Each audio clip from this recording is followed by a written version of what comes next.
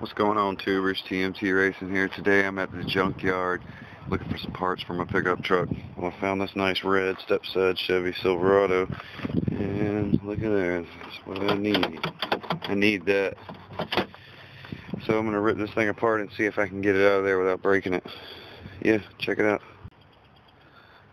Alright, well that's the best thing about a junkyard tubers. You don't have to be gentle. So. Alright tubers, we'll check it out. I think I figured it out. I don't have to remove this panel. Um, all I got to do is drill that rivet out right there. And once you drill the rivet out and disconnect the rod from the pivot point there and the pivot point down there, you drill the rivet out and the whole thing slides forward. Comes right on out. Look at that. So no more redneck door handle guys. I'm going to go home and put this thing in and we'll see how that goes. Yeah. So yeah, if you need some parts for your car or truck, uh, I suggest going to the junkyard. There's tons of uh, these Chevy Silverados, Jeeps, Suburbans, Fords, you name it, they got it. And uh, most of them have been torn apart like that there. But uh, sometimes you'll find one like I just found that just came in and they still have all those parts.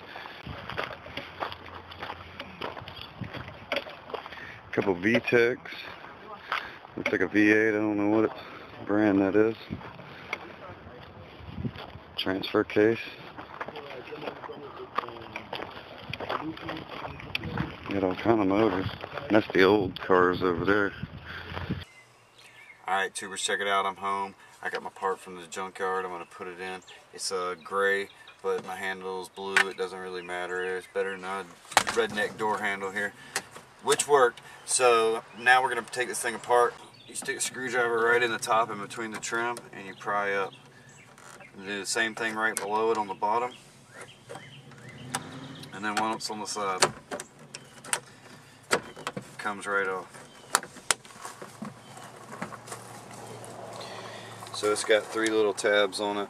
Um, one right at the top, bottom, middle, and a little one over here, but that one will pop right out once you get it going. Alright, for the switches, um, just go right in here with your flathead, pop up, they come right out.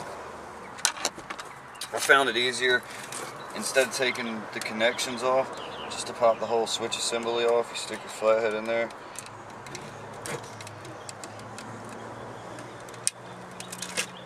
comes right out. And the speaker is pretty cool. It just twists and comes right out. So we want to kind of drop those down in the door. Alright so now you just take your flathead and you stick it right in the side. Little things will start popping out.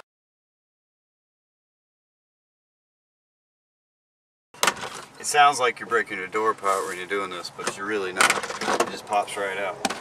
So then you want to lift it straight up, pull it out a little bit, and give it a little wiggle. When I was in the junkyard, I found it was a lot easier to do this with the window down. That way you have more play at the top. So first thing I'm going to do is roll the window down.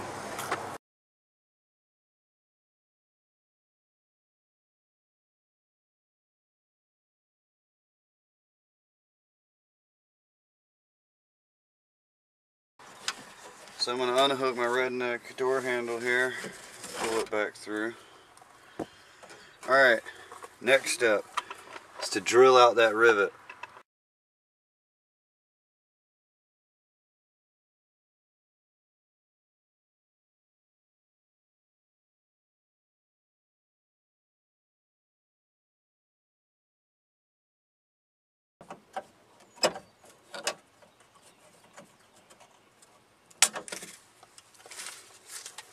There you go, boys.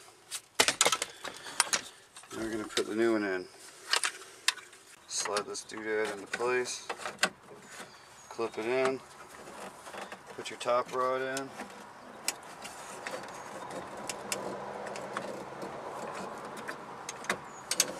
It's locked into place.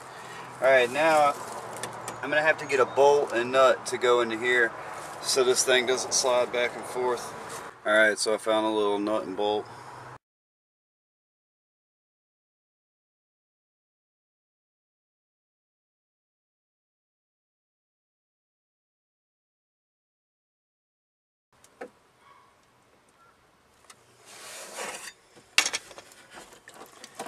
Oh yeah, boys.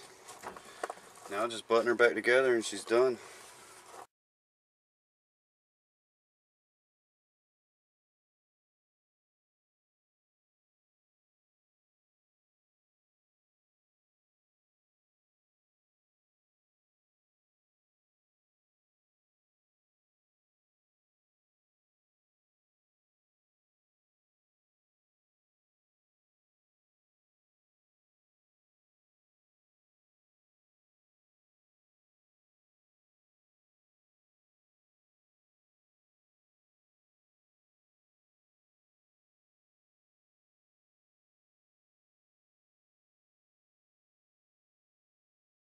Alright, well I'm done tubers. Took about 10 minutes. 10 bucks for the handle at the junkyard this morning. When I was there, I really figured out how this door works. Um, with the window down, you have plenty of room to work with in there. So, yeah, check out the rest of my videos and uh, please subscribe. Thanks for watching and you have a nice day.